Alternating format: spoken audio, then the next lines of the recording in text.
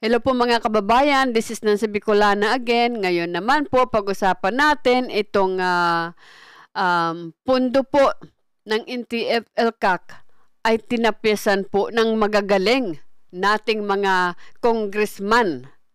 Um, sa lower house kasi po daw tinanggal yun. Ang, kasi ang binigay po ng executive ay 10 billion. Pagdating po dito sa lower house, ay tinapiyasan po ng kalahati. So, limang bilyon na lamang po. In, ito po mga kababayan ay kumbaga napakalaki po ng uh, pagkakagastusan nito. Ito po ay para sa ating mga indigenous people po, mga kababayan, para malagyan po sila ng kalsada at mga ele- at electricity, pati po tubig. At ito po ay tulong uh, sa ating mga former uh, rebel po, yung mga nag, nagsibalikan. Di ba dapat bigyan na po ng atensyon? Kasi nga po, to begin with, kaya sila pumunta ng mundok dahil nga po napabayaan sila ng ating government. Ngayon na naman, manhid na manhid po talaga itong mga government officials natin, yung mga congressman ko, uh, mga senador natin, palibhasa po nila, hindi nila alam kung ano, paano mamuhay sa bundok kung paano mamuhay ng walang kalsada. Palibhasa po sila mga nakatira sa mga gated uh, communities. Akala ko po ba sabi nila noong uh, nag uh, tumatakbo pa lang sila, nanghihingi sila ng boto, ang sabi nila suportado nila ang NTF CAC. Uh, pipilitin nilang mabigyan ng pundo. Bakit ganyan ngayon? 'Di ba? Napaka napakamanhid po ninyo, napakadamot po ninyo ng perang hindi naman po sa inyo kasi yung pera po na yan ay pera ng taong bayan na pinagsama-sama para sa taong bayan din. Pero para po bang hirap na hirap kayo palibhasa, hindi nyo nakikita ang buhay ng mga tao doon. Anong pang ano bang tingin niyo sa kanila? Ito po ang uh, video na interview kay Senator uh, Bato de la Rosa. Yun naman po ang kagandahan kay Senator uh, Bato de la Rosa. Although kinikriticize natin sila, pero gumagawa naman ng magaganda silang uh, uh, uh, dito para sa ating uh, mga kababayan, ating mga naghihirap na nandoon sa bundok. Ganon din po si uh, Senator uh, Robin Padilla. Ito po yung video nila ni uh, ni Isiminay pag-interview kay Senator Bato de la Rosa. Tinapyasan ang 2023 proposed national budget ng uh, National Task Force to End Local Communist Armed Conflict o NTF-LCAC. Ganito, inilarawan ng isang dating kadre ng CPP-NP-NDF ang budget cut para sa task force ng pamahalaan laban sa problema ng bansa sa insurhensya. Si MJ Mondihar sa detalye ng balita. Nais ng administrasyon ni Pangulong Bongbong Marcos na bigyan ng 10 bilyong piso ang mm. Support to the Barangay Development Program o SBDP ng NTF-ELCAC. Ito'y para ipaabot ang iba't ibang programa ng pamahalaan sa mga liblib na lugar o barangay na dating pugad ng New People's Army o NPA. Mm. Pero sa pagsisimula ng bicameral conference meeting ng Senado at Kamara ngayong biyernes, November 25, para sa 2023 proposed national budget ay may tapyas na pala ang 10 bilyong pisong diba? pondo. Well, alam natin no, na ang original proposal ng uh, executive branch dyan is uh, 10 billion. Ngayon, uh, pagdating sa House, tinapyasan nila ng kalahati. House ang nagtapyas? Oo, oh, tinapyas nila ng kalahati. Nag, from 10, naging 5. Dahil ang Kamara ang nagbawas, sila naman sa Senado ay pinipilit ang dagdag. Kasama si Senator Robin Padilla, ipinakiusap raw ni Senator Bato kay Senate Committee on Finance Chair Sonny Angara na dagdagan ito ng 2 billion. Ngayon, nag-i-effort kami, kami ni Senator Robin Padilla, kinausap namin yung chairman namin sa Finance Committee na kung pwede madagdagan ng 1 for uh, para, para uh, one, bid ni Senator Padilla, tapos 1 din, amin galing sa akin. So, pumayag naman yung aming yung Finance Committee. Pero ayon kay Senator Bato, in principle pa lamang ang 7 billion budget hanggat hindi pa napipirmahan ang BICAM report. Ibig sabihin, maybe pa rin. Hanggat hindi natatapos ito, hindi natin alam kung madadagdagan. Kaya para sa mga tumutulong sa NTF-LCAC sa laban ng pamahalaan kontra CPP, NPA, NDF, ang pagkapon diba? sa pondo ng SBDP ay may masamang epekto maliit na nga, kinapon pa. Mm. So walang hustisya at katarungan yan para sa mamamayang Pilipino. Giit ni Celis, malaki ang ambag ng pera ng BDP para ipaabot ang good governance sa mga suok na lugar sa bansa. Dito kasi huhugutin ang pondo para sa electrification, pagtatayo ng mga kalsada, tulay, patubig, classroom at mga livelihood program sa mga Diba? dating NPA-infested area. Kaya sana raw ay huwag ipagkait ang pondo. uh, Congress, both Senate and the lower house, must be re- must be reminded na hindi nila pondo 'yan. Pondo ng taong bayan 'yan. At 'yan ay para sa mga malalayo at mga lugar na nahihirapan dahil sa gapos ng terorismo ng uh, CPP, NPA, NDF. Para naman sa National Commission on Indigenous Peoples to NCIP, ang ancestral domain ang number one na maapektuhan kung matutuloy ang tapyas. Yeah, ang unang maapektuhan kagad, kagad nito ay mga ancestral domain. Kasi yung unang pundo noon ng ah, Barangay Development Program, nag-benefit nito ang almost 300 plus barangays na mayroong mga ancestral domains. Yeah, ang unang maapektuhan kagad Umaasa din si Kapuyan na mababago pa ang kapalaran ng SBDP budget para sa kapakanan ng mga komunidad na umaasa sa pondong ito ng gobyerno. the end of the day, it is the people that we are serving. Uh, it is the those in the the countrysides na kailangan matulungan dun sa ating insurgency problem. So sana may chance pa na magbago ang kanilang isip. Ngayong bawas na ang pondo ng NTF-ELCAC, may pag-asa pa ba kaya na ito'y madagdagan? Oh, huwag sila mawala ng pag-asa. Andyan pa rin, andyan pa rin na hindi naman totally sinero, no? Meron pa rin, ah, 7 billion yan. Hopefully makakarating yan sa inyo through Barangay Development Program. May isang linggo pa ang Senado at Kamara para isapinalang disagreeing provisions ng 2023 proposed budget. Ang panahon para dagdagan pa ang pondo ng NTF-ELCAC sa susunod na taon. Para sa Pilipinas kong mahal, MJ Si mga kababayan, ganyan po. Ganyan kalupit ang iba nating mga senador at ang iba nating mga congressman na akala po nila ay binubunot nila yung pera nila sa sarili nilang bulsa.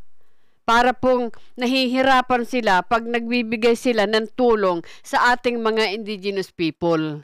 Yung pong lugar na yon, kaya nagkakaroon po ng Barangay Development Program para hindi na po yung bumalik yung mga NPA doon. Pero ano po ba talaga ang, ang gusto nang gawin ng mga, ng mga to? Dapat yung po ang i-develop ninyo, tulungan po ninyo yung mga hindi na di-develop pa. Bigyan po ninyo ng tulong. Tapa- 10 billion ang ibin ang ano, eh, 10 billion ang ah, pinapabigay. Maliit na ngayon kasi ang propose po noon ah, ano ay nung kay Tatay Digong ay 20 billion. 'Di ba? Oh, tinatapisan din nila 'yon. Grabe tong mga to, napaka ang dadamot ninyo, ang mamanhid ninyo. Sana'y makakatulog kayo diyan. Sarap ng tulog ninyo sa kama ninyo. Sarap ng tulog ninyo sa mga simentong bahay ninyo, mga gated communities ninyo. Samantalang yung mga kababayan natin doon, yung bahay nila, ano na, ah, ah, madali nga mapasok ng NPA. Tapos wala pang kalsada yung iba. Napaka ano nyo, napakalupit po ninyo. Grabe kayo. Tapos mangangako na naman kayo, tatakbo na naman kayo sa 2025, sasabihin nyo na naman, I support NTF-ELCAC. Pero pag naiboto na kayo, limot nyo na. Paulit-ulit yung ginagawa yan, di ba? Ito naman po, ah, isi-share ko po sa inyo, ito pong ah, video ni Sir ah, Audrey ah, Gureseta, siya po ay anchor ng PTV. Um, tungkol po dito sa, sa, katatapos EDCA. Sandali. na pagbisita Ito po tungkol sa pagbisita po ng ah, ni Kamala di- dito sa ating sa Pilipinas. Ah, kasi ah, may concern po kasi ang marami nating mga kababayan dahil po sa ah, kumbaga dumadaming EDCA sa atin. Meron po tayong ah, VFA ah, Visiting Forces Agreement at meron po tayong EDCA or Enhanced ah, Defense Cooperation Agreement. Alam po ninyo, tatlong senado at tatlong attorney, ah, ewan ko kung ano pa siya, ano siya, Kit Tatad, attorney ah, Harry Rocky, attorney ah, ah, Butch Valdez, ay nagsasabi sila na ito daw pong, ah, di ba, ah, tinanggal ang base sa atin noon, at ito pong ah, bawal na po yung base sa atin, pero ah, in the guise of EDCA, eh meron po silang mga mas maraming parang bases sa atin. Noon kasi meron lang tayong dalawa, 'di ba? Yung Clark Air Base at saka yung ah, Subic ah, base ah, dito sa ano sa may ah, ah, Olongapo. So ito po si ah, Sir ah, Audrey ah, Goroseta. Sa katatapos lamang po na pagbisita sa Pilipinas ni US Vice President Kamala Harris, ang sarap pong pakinggan ng mga talumpati ni Harris pagdating sa usapin sa West Philippine Sea. No? Sabi ni Harris, meron silang unwavering commitment sa Pilipinas. Anya, we stand with you in defense of international rules and norms as it relates to South China Sea. Pero sinabi rin po nila yan sa Ukraine. Pero kung alam niyo lamang po, no, kawawa ang Ukraine, nasira na po yung bansa nila dahil sa gera. Masarap sa tenga ng mga sinabi ni Kamala Harris. Mga kababayan, tinalakay pa niya yung pagrespeto sa human rights, bilateral rela- relations ng Pilipinas at ng Amerika at madami pang iba. Ngayon, ano ba talaga ang pakay ng pangalawang pangulo ng Amerika at bakit nandito sila sa Pilipinas? Kung maalala, balikan po natin yung mga balitang pagpapatayo ng mga warehouse sa Pilipinas ng US Army kamakailan. Nais po ng Department of National Defense na pabilisin ang pagpapatupad ng 66.5 million dollars na halaga ng mga proyekto sa ilalim ng Enhanced Defense Cooperation Agreement o EDCA sa pagitan po ng Pilipinas at ng Estados Unidos. Ayon sa DND, kinabibilangan ito ng training at warehouse facilities sa Cesar Basa Air Base sa Pampanga, Fort Ramon Magsaysay sa Nueva Ecija at Lumbia Airport Base Station sa Cagayan de Oro. Una na pong sinabi ng DND na ang mga itatayong proyekto ay hindi base militar ng mga Amerikano dahil bawal po ito sa batas. Bagkus, ang mga ito umano ay pasilidad ng Pilipinas na gagamitin sa pagsasanay ng mga Pilipino at Amerikanong sundalo. Ang tanong po natin, bakit kailangan pang palawakin ang mga proyektong pangmilitar ng Estados Unidos dito sa Pilipinas? Hindi po ba delikado ito dahil posibleng maging target ng mga missile attack ng China ito sakaling magkaroon ng conflict, magkaroon ng tensyon ang China at ang Amerika. Hindi rin makakabuti ang pagdami na naman ng presensya ng US military personnel sa ating bansa dahil magdudulot lamang po ito ng iringan sa pagitan ng Pilipinas at China. Hindi pa ba aral sa atin dun sa may kaso ni US Marine Lance Corporal Joseph Scott Pemberton na nakapatay po ng uh, Filipina transgender noong 2014. Hindi ba luging-lugi tayo sa kasong yon? Bagamat hinatulan dito sa Pilipinas, eh hindi naman untouchable naman siya dahil nandun siya sa may uh, kampo ng mga Amerikano. Ngayon, we support the President, we support the government na pag-isipan muna nating maigi, lalo na ng DND, ang mga papasukin nating kasunduan sa Amerika. Napakagulang po ng Amerika at baka mapahamak lamang tayo dyan. Ang $66.5 million project ng EDCA ay maliwanag na pagpapalakas po ng presensya ng puwersa ng Amerika sa Pilipinas at hindi lamang po ito para sa training at disaster response.